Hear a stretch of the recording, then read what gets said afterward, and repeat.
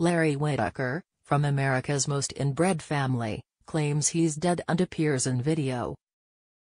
While daughter admits she lied about his death to make money there is the patriarch of America's Most Inbred Family is alive and well.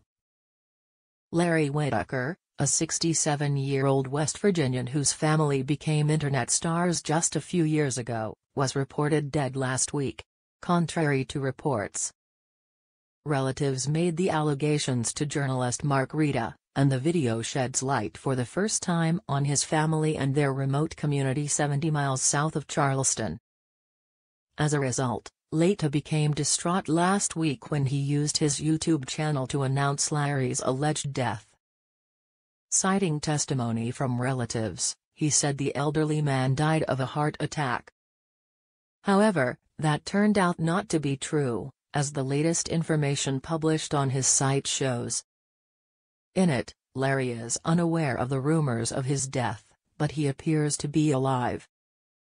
His daughter BJ also appears and she admits that she lied about his death to get money.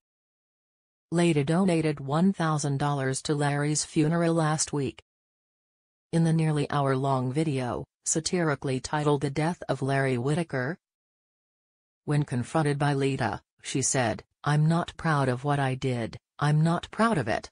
Told. I shouldn't have done that, she complained, smoking a cigarette.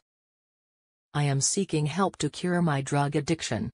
Her supposedly deceased father is sitting next to her. And she only found out about her deception moments ago. Already suspicious of her, Laita spots Larry parked on the property and breaks the news to her. Is this what you're supposed to wear at a funeral? The photojournalist asked jokingly. After asking other members of the Rough and Tumble clan about his whereabouts, what? said the son of cousins John and Gracie Whitaker, clearly confused.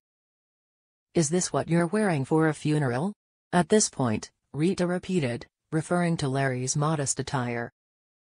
What, you don't understand? At this point, BJ also got out of his pickup truck and headed to a trailer on his family's property.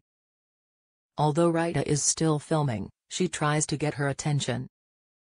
Hey, BJ. Let's talk, he pleads, but the woman ignores his request as she gets into the trailer. At this point, Laita gives up and she turns to meet the rest of her family, including Larry. BJ, he yelled again, but was ignored again. Shortly before the family patriarch arrived in his car, Laita spoke with several family members, including Larry's sister Betty. I asked you about Larry's death, and you said, he's dead, Laita asks the patriarch. Betty, along with her brother Danny, her sister Lauren, and her brother Kenneth, said, BJ told you to tell me this. I don't know that you won't give her the money. I did. When Larry arrives. Laita plays a recording of BJ crying over her father's death, and Betty hears it too. Mark, I'm sorry, BJ says in the video, crying hysterically as he breaks the news. I had to tell you. I never thought today would be the day I would bury my father. I don't know what to do anymore. I just wanted to ask, could you please send me $150?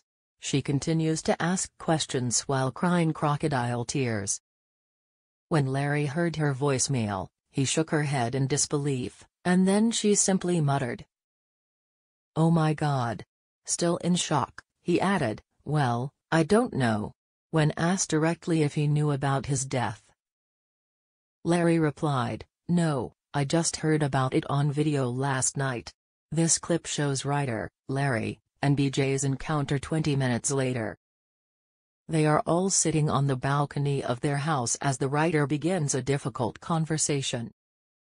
I understand that you have a drug problem. So, BJ, Everyone knows this. You told me so, the filmmaker begins. It's not a secret.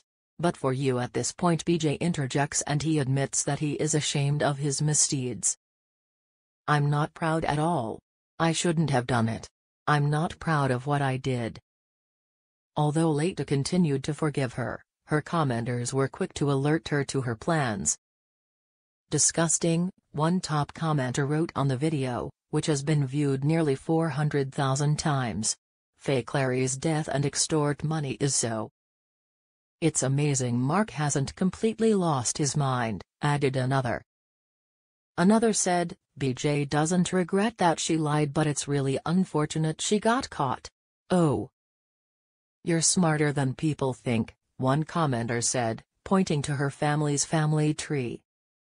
The story begins in 1897, when twin brothers Henry and John were born. The two brothers adopted children and eventually married each other and had children of their own. These children eventually produced the Whitaker clan, with a total of 15 descendants.